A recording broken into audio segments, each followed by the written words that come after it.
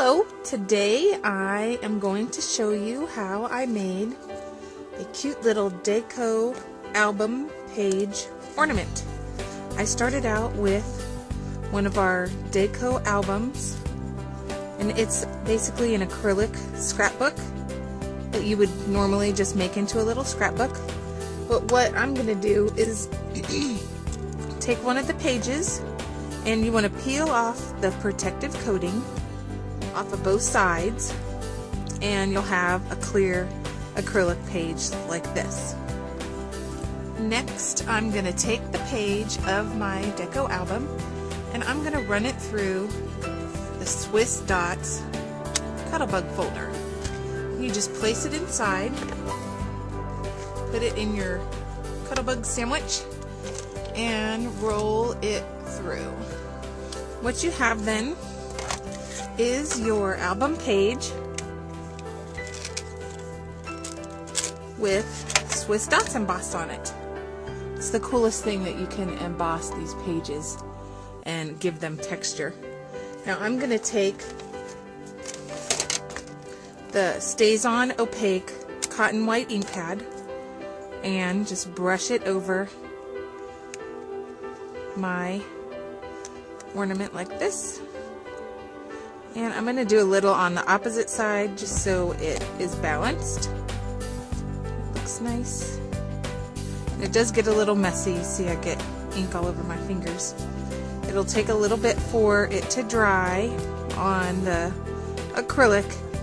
I do not recommend that you heat set it to speed up the drying because what happens is your acrylic is going to start to melt and it'll flatten out and then you don't have the cool effect of the texture and bumpiness. Next I'm going to take a square of navy cardstock that is cut 2 by 2 and I also stamped and punched out with my Marvy Scallop Circle Punch uh, one of a kind with a snowflake stamped in the middle. Okay, I'm going to stick this layer on with a pop dot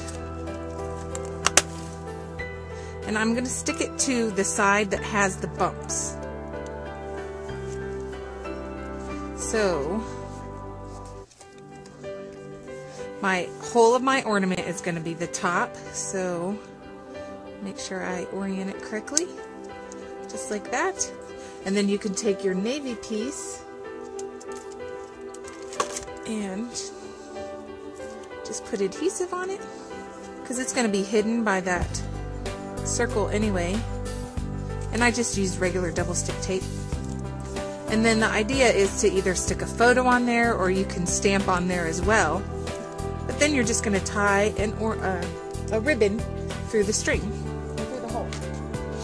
Now to tie my ribbon through, I'm going to feed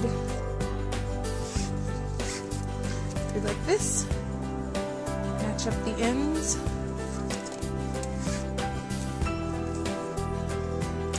Make sure it's twisted right. And then I'm going to do a knot. And this is just your typical sewing knot that you would tie like at the end of a piece of thread that you're going to sew with. Just tighten that down. And then you take that knot and slip it to the base of the hole. So now my knot is down here and I have a smooth loop of ribbon for my ornament to hang from. And then you just tie your bow right here.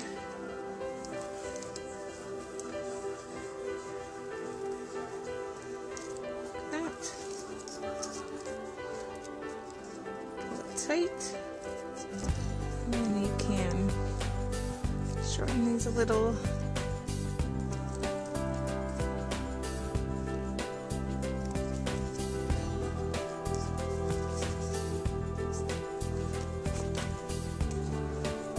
Just trim the ends